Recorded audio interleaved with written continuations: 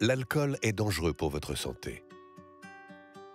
Pour votre santé, l'alcool c'est maximum deux verres par jour et pas tous les jours. Vous vous posez des questions?